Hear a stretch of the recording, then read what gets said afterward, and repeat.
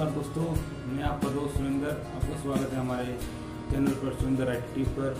दोस्तों, आज हम बात करेंगे एक लेखक कैसे बने, एक अच्छा राइटर कैसे बने। दोस्तों राइटर बनने के लिए हमारे पास सबसे ज़रूरी चीज़ होनी चाहिए विचार। दोस्तों, विचारों का होना बहुत ज़रूरी है। दोस्तों, विचार एक ऐसी है जो इंसान को महान बना देता है। दोस्तों, एक साइंटिस्ट के पास भी विचार होता है, तभी वो इतना बड़ा इन्वेंशन कर पाता है। विचार ही दोस्तों हमें मजबूर करते हैं किसी चीज़ के बारे में सोचने को। विचार एक ऐसी चीज़ है जो छोटी से छोटी, बड़ी से बड़ी चीज़ों पर सवाल उठाता है। दोस्तों, ये विचार ही हमें एक अच्छा राइटर बनाते हैं। दोस्तों, विचारों का ऐसा संगम है जो एक राइटर की ज़िंदगी में बहुत ज़रूरी है। दोस्तों राइटर बनने के लिए हमें वातावरण, पर्यावरण के सानिध्य में जाना चाहिए। दोस्तों, हमें पर्यावरण से जुड़कर रहना चाहिए। पर्यावरण में जो भी वस्तु हैं, जो हम देखते हैं, हमें उस पर विचार करना चाहिए, हमें वो समझना चाहिए। हमें उसके बारे में सोचना चाहिए कि भाई, ये क्यों है, क्या है, कहाँ से है, कहाँ तक है, और इसका अंत क्या है।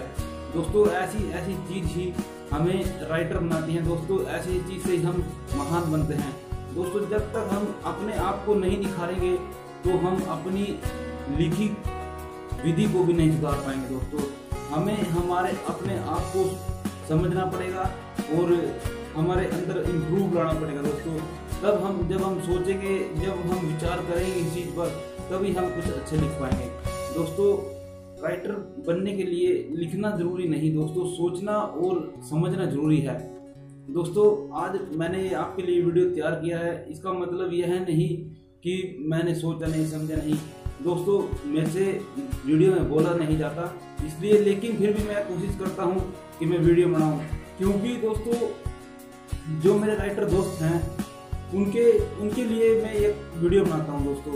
दोस्तों, मेरे पास कोई कोई ऐसा रास्ता ही नहीं था जो मुझे राइटर बनाए दोस्तों। इसलिए मैं आपको यहाँ पर रास्ता दिखाऊँगा दोस्तों कि राइटर कैसे बने।